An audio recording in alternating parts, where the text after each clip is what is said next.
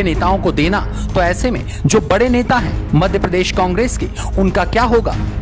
इसको लेकर बीजेपी तो चुटकी ले ही रही है, लेकिन ये भी देखना होगा, आखिर मध्य प्रदेश में साल 2023 में चुनाव है तो ऐसे में प्रदेश कांग्रेस कमेटी के सामने सामंजस्य स्थापित करना कितनी बड़ी चुनौती होगा, खासतौर पर जबकि इस बयान को लेकर सुर्खियों में ब्यूरो रिपोर्ट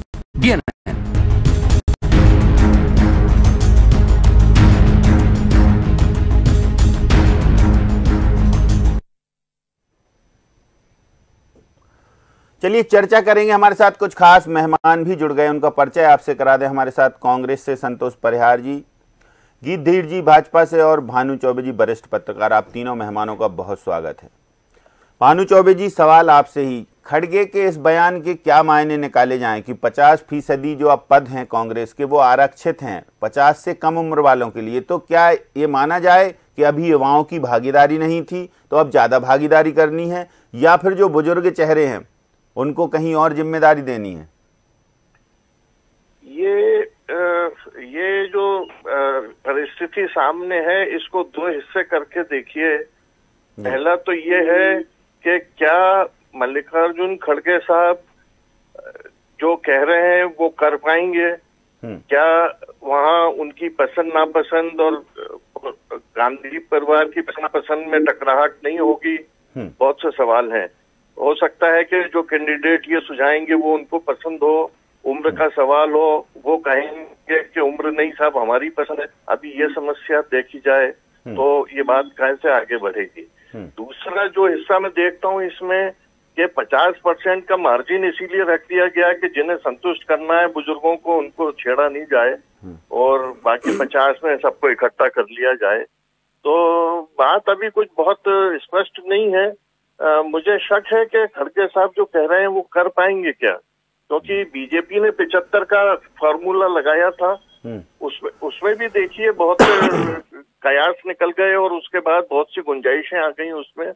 तो अभी मुश्किल लगता है कि वो जो कह रहे हैं वो कर पाएँगे कि नहीं कर पाएँगे। ठीक बात है। कर पाएँगे या नहीं कर पाएँगे इस पर तो संशय है क्योंकि जो कांग्रेस में कहा जाता है या राजनीतिक दलों में कहा जाता है उसको अमल में लाने के लिए बहुत मेहनत की ज़रूरत होती है और सख्त डिसीज़न की अब कितने ले पाएँगे ये तो वक्त बताएगा जी संतोष परिहार जी सहमत हैं कि ऐसा होने वाला है निश्चित तौर पे जो है युवाओं को प्रतिनिधि मिलेगा पूरे देश के अंदर दिखेगा हम्म। और माननीय खड़गे जी ने जो बोला है तो हम्म। उसमें जो है प्रतिनिधि दिख भी रहा है अभी जो बनाया है तो हम्म। ऐसा कोई वो नहीं है वो तो स्वतंत्र रूप से काम कर रहे हैं। और माननीय राहुल जी की जो यात्रा पूरे देश में जो चल रही है हम्म। उसका एक अच्छा रिस्पांस मिल रहा है। लाख तीन साढ़े तीन तीन चार चार लोग यात्रा में चल रहे हैं। हम्म।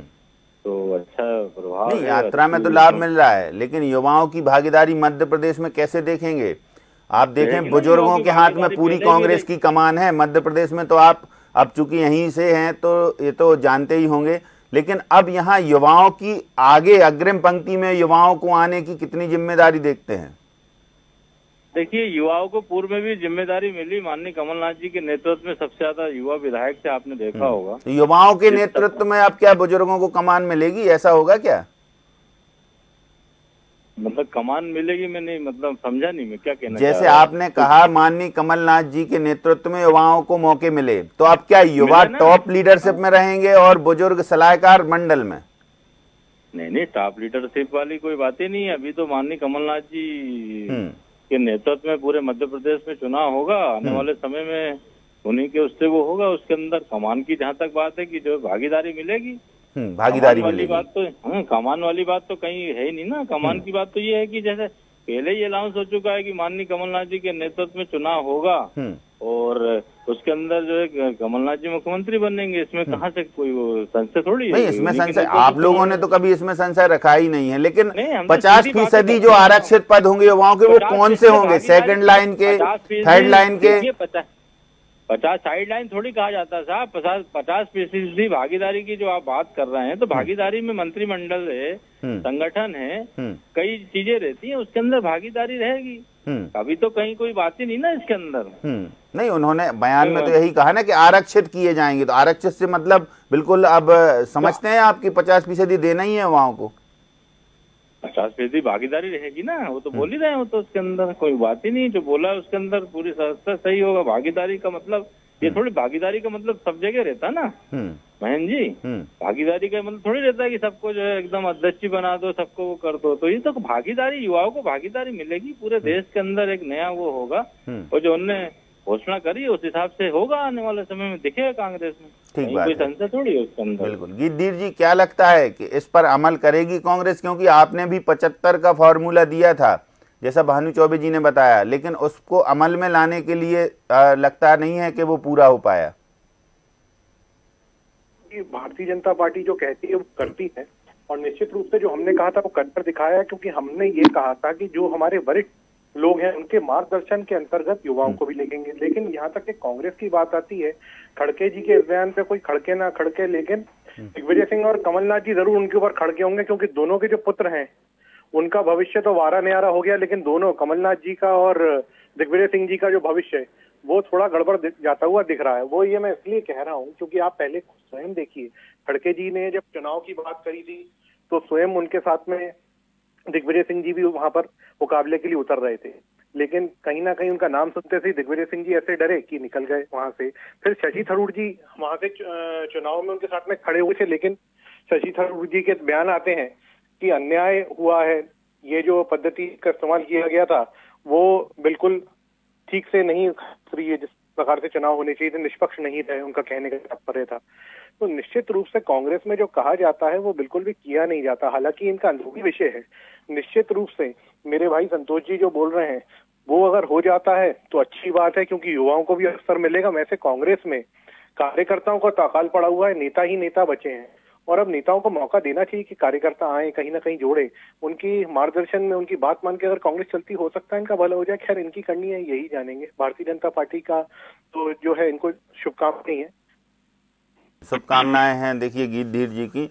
संतोष परिहार जी को दे रहे हैं, वो कांग्रेस को कि कम से कम अमल में आए। भानु चौबे जी, क्या लगता है संतोष जी कह रहे हैं, ऐसा नहीं, कमलनाथ जी के नेतृत्व में ही चुनाव होगा तो वो तो फिक्स है। उसके अलावा फिर सेकंड लाइन का या ऐसा लगेगा कि कुछ ऐसी जिम्मेदारियों का डिस्ट्रीब्यूशन हुआ है तो वो सिर्फ़ नेता पुत्रों तक सीमित रहेंगी या वास्तव में जमीनी कार्यकर्ताओं तक भी ये पहुंचेगी लाइन देखिए, बात यहीं से, अभी इस बयान से आप पकड़ लीजिए, शुरू हो गई।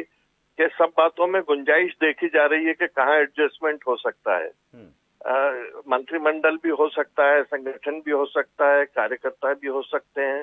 भागीदारी हर जगह देखी जा सकती है। अगर युवाओं का मौका देने की बात होती तो नेतृत्व खड़गे जी का समर्थन करने के बजाय थरूर जी का समर्थन करता। तो युवा नेतृत्व आता कांग्रेस में राहुल जी भी तैयार होना चाहिए थे उसके लिए। और अगर नहीं है, अस्सी बरस के खड़गे जी को चुना गया है, और ये कहा गया कि साहब उनको नेतृत्व का परोक्ष समर्थन है तो फिर ये तो उदाहरण हर जगह रखा जाएगा। सामने साहब, दिक्कत होगी सुलझाने में बातें। मध्य प्रदेश के लिहाज से हम देखें, भानु चौबे जी तो इसमें जो सेकंड लाइन के नेता हैं, जो कहीं कहीं ऐसे बयानबाजी करते हमें दिखे, चाहे वो विधानसभा का पटल हो सड़क हो या फिर पीसीसी कार्यालय हो, वहाँ पर ये लाइन ज़रूर समझ में आई कि ये जिज्ञासु हैं कि इनको भी कोई महत्वपूर्ण ज़िम्मेदारी में रखा जाए या फिर लगता था कि कुछ आगे आके युवा बनना चाहते हैं। और बड़े जो नेता हैं, वो निश्चित तौर से अपने पुत्रों को तो चाहेंगे ही कि वो चमके यहाँ पर मध्य प्रदेश में जो पटल पर कांग्रेस के। तो इसमें सब गुणा भाग जोड़ तोड़ लगा के अब युवाओं की बारी है तो किन युवाओं की बारी देखते हैं? किन की संभावनाएँ ज़्यादा प्रबल लगती हैं आपको? तो जैसा आपने कहा कि नेता पुत्रों की प्राथमिकता तो अब तक रहती आई है और मैं नहीं समझता कि आगे वो खत्म हो सकेगी। हम्म। तो इसका लाभ अगर पहले बटेगा तो किसी न किसी के पुत्र को भाई को मिलने की बात आएगी। हम्म। और वैसे जीतू पटवारी जी कार्यकारी अध्यक्ष तक गए हैं हम्म। तो इस तरह के उदाहरण मिलेंगे लेकिन ये फॉर्मूला इसी पारदर्शिता से लागू होगा इस बारे में मुझे संशय है हाँ।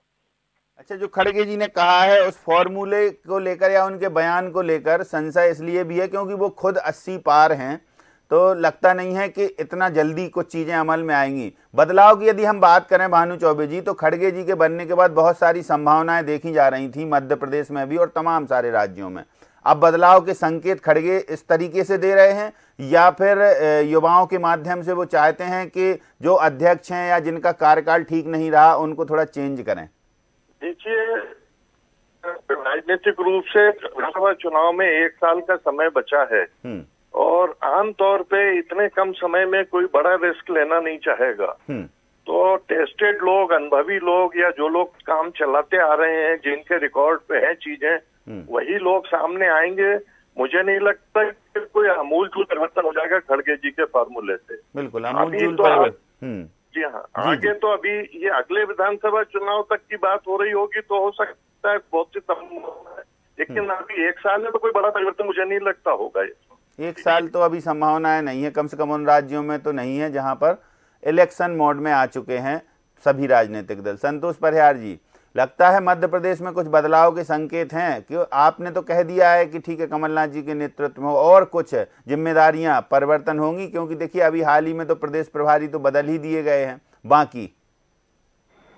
हम्म, देखिए महेंद्र जी ये जहाँ तक बदलाव की बात है राष्ट्रीय अध्यक्ष का विषय है। राष्ट्रीय अध्यक्ष जो है मध्य प्रदेश में अभी पूर्व में ही जो है विजय प्रकाश अग्रवाल जी आए हुए हैं। हम्म। तो मुझे ऐसा लगता नहीं है क्योंकि पूरे मध्य प्रदेश में घूम रहे हैं काम कर रहे हैं। हम्म। और यहाँ कोई अब बाकी राष्ट्रीय अध्यक्ष जी स्वतंत्र हैं। अब वो क्या करेंगे ये आपको दिख जाएगा। मुझे ऐसा लगता नहीं है कि यहाँ कोई बदलाव होगा। यहाँ तो माननीय कमलनाथ जी के नेतृत्व में हम्म। पूरी तरीके से कांग्रेस के कार्यकर्ता पूरे नेता लगे हुए हैं पूरे बूथ बूथ से लेके मंडलम से लेके पूरे विधानसभा क्षेत्र में काम कर रहे हैं और पूरी ताकत से लगे हुए हैं, क्योंकि मध्य प्रदेश में बहुत बड़ी समस्या, बेरोजगारी की है, महँगाई की है, जीएसटी की मार है। आपके प्रदेश के अंदर भ्रष्टाचार में नंबर वन प्रदेश हो गया है पूरे देश के अंदर। रोज लूट हो रही है, मुख्यमंत्री जी को रोज मीटिंग करनी पड़ रही है, गड्ढों के बार बार बार बार निर्देश दे रहे हैं, अधिकारी वर्ग कोई पालन नहीं कर रहे हैं। पूरी के तरीके से भ्रष्टाचार में डूबा हुआ प्रदेश, क्राइम की हालत, ज़ीरो मतलब ऐसी स्थिति हो गई कि रोज महिलाओं से बलात्कार हो रहा है। तो बहुत सी समस्याएँ हैं प्रदेश के अंदर और जनता देख रही है। कार्यकर्ताओं की भी नज़र पूरे प्रदेश के अंदर हर जगह लगी हुई है कि जो मध्य प्रदेश के अंदर जो अधिकारी, जो रिचार्ज और टॉपअप पे कर रहे हैं, भ्रष्टाचार में जो है वसूली करके भारतीय जनता पार्टी के जो नेताओं को दे रहे हैं तो ये पूरी जनता को भी दिख रहा है। पूरी तरह प्राइमा प्राइमा हुआ है। तो आने वाले समय जनता भी इसका जवाब देगी और अभी ऐसा कोई दिख नहीं रहा है इसके अंदर। भारतीय जनता पार्टी की सरकार में आपने गिना दी हैं पूरी दर्जन भर से ज़्यादा बता दी हैं आपने लेकिन कांग्रेस में सब ठीक चल रहा है लगता है कि सारे बड़े नेता एक मंच पर बैठते होंगे।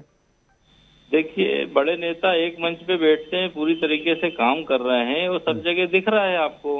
हम्म। जो चुराया हुआ जनादेश गद्दारों से लिया हुआ जनादेश ज़्यादा दिन थोड़ी चलेगा साहब समय आ गया है वो वो भी जनता आपके अजय सिंह जो राहुल हैं वो कह रहे हैं कि सभी लोग सामूहिक नहीं बैठते। वन टू वन चर्चाएँ ऐसे बैठक होती रहती हैं एक दो एक दो नेताओं की लेकिन सामूहिक जो वरिष्ठ नेतृत्व हैं वो एकजुटता के साथ या एक मंच पर नहीं बैठते हैं। बिल्कुल- बैठते हैं। अभी माननीय अजय सिंह जी खुद ही बैठे हुए थे कमलनाथ जी के मीटिंग में। हाँ तो उन्होंने ये कहा ना कि ऐसे बैठते हैं एक दो एक दो करके लेकिन जितने दिग्गज सारे नेता हैं जैसे एक मंथन चिंतन होता है ना कि सारे लोग पहुँच जाते हैं जैसे हमने देखा कि भारतीय जनता पार्टी में तो सभी नेता एक साथ बैठते हैं। ऐसा तो उन्होंने भी इनकार किया है आप कह रहे बैठते हैं। महेंद्र जी महेंद्र महेंद्र भाई आपने ये भी देखा होगा हम्म। कि अभी माननीय मध्य प्रदेश में जो आपके जो है उज्जैन में कॉरिडोर में हम्म।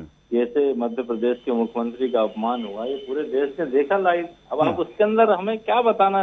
हमें किसी की सीख की थोड़ी ज़रूरत है साहब। सारे नेता लगे हुए पूरे मध्य प्रदेश में। नहीं नहीं हमारा कहने का आशय सिर्फ़ इतना है कि ऐसे कोई ऐसी बात हाईकमान के पास तो नहीं है कि इससे लगता हो कि जिम्मेदारियों का डिसेंट्रलाइजेशन या डिस्ट्रीब्यूशन किया जाए कि सबको ऐसी ऐसी ज़िम्मेदारी दे दी जाए 2023 के लिए। बदलाव फिर 2023 के बाद देखेंगे ऐसा?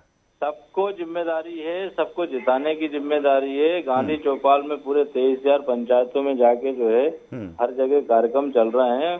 सेक्टर मंडलम से लेके देखिए बहुत बड़ी ज़िम्मेदारी है। विपक्ष की हमारी ज़िम्मेदारी है क्योंकि जनता के ज़रूरत मुद्दे उठाएँ। हम्म।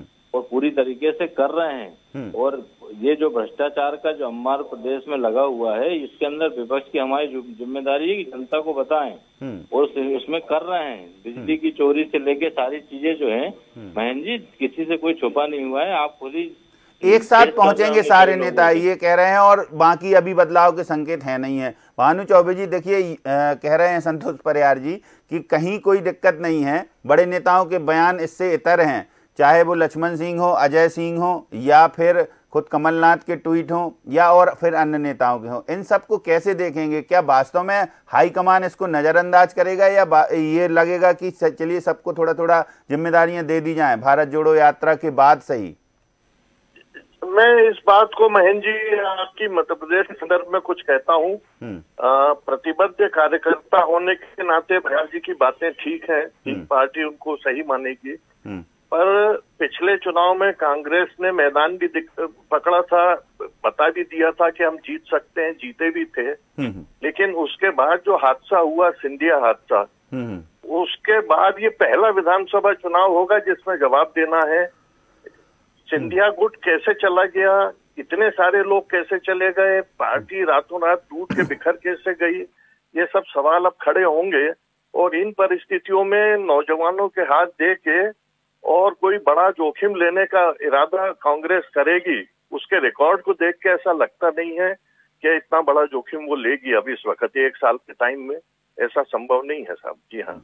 बिल्कुल, जोखिम लेगी। दीर जी, एक बात और कही है मल्लिकार्जुन खड़गे ने अपने बयान में कि जातिवाद और लोकतंत्र को कायम रखने के लिए या थोड़ा सा कहें कि मज़बूत करने के लिए ये जातिवाद को अलग करना है लोकतंत्र और समाजवाद को मज़बूत करना है। ये तीन बातें उन्होंने बहुत प्रायोरिटी से कही हैं। तो वास्तव में ये संभव है कि राजनीतिक दलों से जातिवाद खत्म हो जाएगा? की बात जो है हमेशा से भारतीय जनता पार्टी ने इसका विरोध किया है लेकिन कांग्रेस जो है हम्म। इस बात के साथ में चली और पर तोड़ो तोड़ो की राजनीति करी है। अभी भी देखिए जो लोग गाय को काट रहे हैं रहील जैसे लोग हम्म। वो फ़ोटो में आप देखेंगे कि राहुल गांधी जी के साथ चल रहे हैं हम्म। फिर उसके बाद में राहुल गांधी जी को अगर अभी वायनाड से चुनाव का देखे तो ये तो मुस्लिम लीग के साथ वहाँ मिलकर चुनाव लड़े थे वहाँ जाकर बोलते हैं कि मैं जो हूँ मुसलमानों के साथ में हूँ और अभी जो है इनको हिंदू ध्यान आ जाते हैं अभी उज्जैन में भी भारत तोड़ो यात्रा आ रही है तो कांग्रेस का आचरण जो है ये चाहे मल्लिका अर्जुन जी हो चाहे राहुल गांधी जी हो चाहे इनका कांग्रेस का कोई कार्यकर्ता हो क्योंकि मानसिकता ऊपर से चली आ रही है। इसकी स्थापना जो है कांग्रेस पार्टी की वो ह्यूम के द्वारा की गई थी जो कि एक ब्रिटिश व्यक्ति था। तो इनकी जो विचारधारा वो राष्ट्रवादी कभी हो ही नहीं सकती। और जब राष्ट्रवादी विचारधारा है नहीं तो ये सिर्फ़ तोड़ने की बात करेंगे ये सकारात्मक कुछ कर नहीं सकते। तो जो ये कहते हैं वो कभी नहीं करेंगे जैसे अंग्रेज़ों की मानसिकता थी। अच्छा। तो निश्चित रूप से आप मानिए इनका जो आपसे तो पूछा है कि जातिवादी की एक जो सिस्टम है तो उसमें संतुलन बनाने के लिए ज़रूरी है संगठन में? या फिर ये खत्म होगा जो योग्य होगा उसको पद मिलेगा फिर वो चाहे किसी भी जाति का हो। ये राजनीतिक दलों में आएगा कुछ नया ट्रेंड देखिए भारतीय जनता पार्टी जो है सबका साथ सबके विकास की बात करती है। हम हम्म। सबको जोड़कर बात करते हैं हम सबके विकास की बात करते हैं लेकिन हम्म। कांग्रेस में मैंने आपको बताया ना यहाँ पर तोड़ो तोड़ो। और तोड़ो तोड़ो की राजनीति करते हैं कि इसको भी तोड़ दो उसको भी तोड़ दो उसको बरगला लो इसको बरगला लो। आखिर में क्या होता है कि कांग्रेस की जो सच्चाई है वो जनता के सामने आ चुकी है। हम्म। अब इनको आईना देखने की ज़रूरत है। जबकि दूसरे राजनीतिक दलों की बात करें तो मैं नहीं कह सकता लेकिन भारतीय जनता पार्टी में इस प्रकार की पद्धति नहीं है। तो किसी भी समुदाय का व्यक्ति आए हम्म। वो सुरक्षित माना जाता है क्योंकि वो राष्ट्र के लिए कार्य करता है। हम्म। उसको अपने आप में एक विश्वास रहता है मैं राष्ट्र के लिए कार्य कर रहा हूँ ना कि केवल पार्टी के लिए।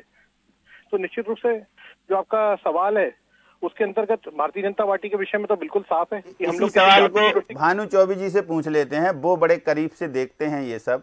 भानु चौबे जी एक लाइन फिर ये भी है कि लोकतंत्र और समाजवाद को मज़बूत करने की दिशा में भी कांग्रेस बढ़ेगी और जातिवाद को खत्म करने की दिशा में देखिए महेंद्र जी ये भाजपा के प्रवक्ता जो भी कह रहे हैं या कांग्रेस प्रवक्ता जो भी कह रहे हैं हम्म। हम और आप जो फ़ील्ड में और अखबार के दफ्तरों में काम करते रहे हैं हम्म। आज तक पिछले चुनाव तक हमने ये देखा है कि किस इलाके में किस जाति के वोटों की संख्या कितनी है इस पर से कैंडिडेट चुना जाता है। हम्म। और ये कैंडिडेट सामने आते हैं कई जगह जीतते भी हैं कई जगह हारते भी हैं वो बात अलग है। हम्म। लेकिन जातिवाद राजनीति से खत्म हो जाएगा ये अगर कोई कहता है हम्म। तो वो मानने की कोई गुंजाइश नहीं है साहब ऐसा हो नहीं सकता। बिल्कुल मानने की कहीं भी गुंजाइश नहीं है। संतोष परिहार जी मानेंगे आप इस बात को? करेगी कांग्रेस इस दिशा में प्रयास? देखिए कांग्रेस हमेशा सभी को लेके साथ चलती महेंद्र विश्वकर्मा जी मेरी आपत्ति है आपसे हम्म। और आपके चैनल से। ये इनने झूठी भ्रामक बातें जो बताई हम्म। कि गाय काटने वाला आदमी साथ में चल रहा है हम्म। बिल्कुल इसकी मैं निंदा करता हूँ। ऐसे लोगों को आप प्रवक्ता ऐसे लोगों को आप डिबेट बैठाएँगे तो ये ठीक नहीं है। मैं डिबेट का बहिष्कार करता हूँ। अरे आप पहले जवाब तो दे दीजिए। आपको उन्होंने बोला तो आप भी जवाब दे दीजिए ना। अब इनको ऐसा लगता है कि जो प्रवक्ता बैठते हैं वो कैसे जवाब देंगे भाई आप जवाब दीजिए आपने तत्काल बोल दिया खैर ठीक है भानु चौबे जी देखिए संतोष परिहार जी बड़े नाराज़ हो गए हैं नहीं साहब बातचीत करने बैठे हैं तो सब बातचीत होनी चाहिए हम्म। आप सवाल करिए जवाब दीजिए दोनों सुविधा आपके पास है अधिकार है आपके हम्म। डिबेट छोड़ना नहीं चाहिए ये ठीक नहीं है हम्म। हाँ। चलिए खैर, आप तीनों मेहमान हमारे साथ इस महत्वपूर्ण बहस में शामिल हुए। बहुत बहुत शुक्रिया आपका। तो भानु चौबे जी, शुक्रिया। गीधीर जी, शुक्रिया। संतोष परिहार जी, आपका भी शुक्रिया। तो अब क्या एमपी में चलेगा खड़गे का 50-50 फार्मूला या कांग्रेस के एक नाथ, यानी कि कमलनाथ ही रहेंगे? ये सवाल इसलिए, क्योंकि जैसे ही खड़गे ने कांग्रेस के अध्यक्ष पद की शपथ ली, उन्होंने कहा कि 50 फ़ीसदी जो पद हैं या जो डिस्ट्रीब्यूशन होगा कांग्रेस के इंटरनल संगठन में, उसमें उनको आरक्षित किए जाएँगे। तो अब ये सवाल भी है और ये देखना भी होगा कि आखिर मध्य प्रदेश में इस युवा फॉर्मूले का कितना असर होता है और बाकी के राज्यों में क्या वास्तव में युवाओं को कमान मिलेगी कांग्रेस में या फिर बुज़ुर्गों के सानिध्य में युवाओं को कुछ और मौके दिए जाएँगे, जैसा संतोष परिहार ने बताया। तो डीएनएन एजेंडा में फ़िलहाल इतना ही। देखेंगे वक्त के साथ कांग्रेस के बदलाव को भी। नमस्कार।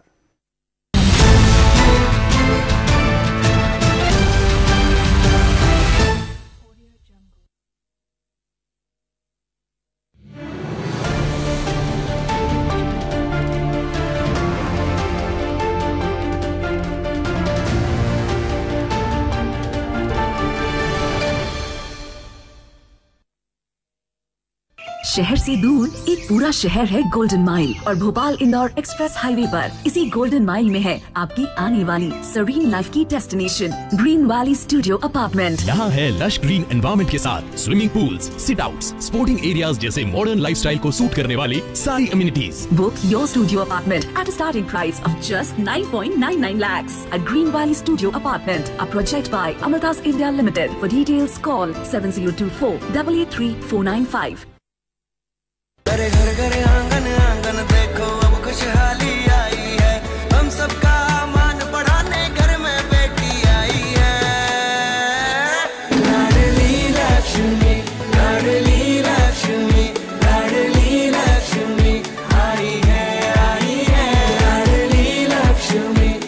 प्रदेश में 2 नवंबर को मुख्यमंत्री श्री शिवराज सिंह चौहान के नेतृत्व में लाडली लक्ष्मी योजना 2.0 में लाडली बालिकाओं को उच्च शिक्षा के लिए प्रोत्साहन राशि वितरण कार्यक्रम आयोजित किया जा रहा है।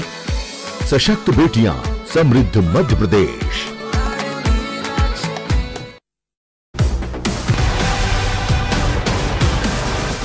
शहर से दूर एक पूरा शहर है गोल्डन माइल और भोपाल इंदौर एक्सप्रेस हाईवे पर। इसी गोल्डन माइल में है आपकी आने वाली सरीन लाइफ की destination green valley studio apartment यहाँ है लश ग्रीन एनवायरमेंट के साथ swimming pool sit out sporting areas जैसे मॉडर्न लाइफस्टाइल को सूट करने वाली सारी amenities book your studio apartment at starting price of just 9.99 studio apartment a project Studio Apartment, a project by Amatas India Limited. For details, call 7024 883 कुछ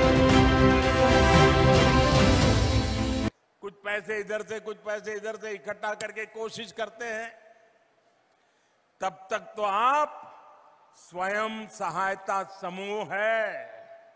लेकिन मैं देखता हूँ आपके पुरुषार्थ के कारण, आपके संकल्प के कारण, देखते ही देखते ये स्वयं सहायता समूह राष्ट्र सहायता समूह बन जाते हैं। और इसलिए कल आप स्वयं सहायता समूह होंगे, लेकिन आज आप राष्ट्र सहायता समूह बन चुके हैं, राष्ट्र की सहायता कर रहे हैं। हर घर पाइप से जल पहुँचाने के इस अभियान में, सिर्फ़ तीन वर्षों में सात करोड़ नए पानी के कनेक्शन दिए जा चुके हैं।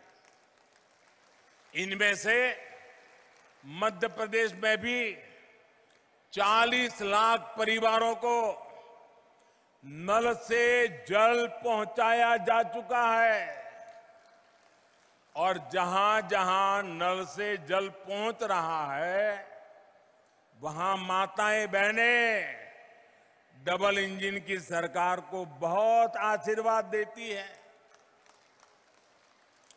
मैं इस सफल अभियान का सबसे अधिक श्रेय मेरे देश की माताओं बहनों को आपको देता हूँ।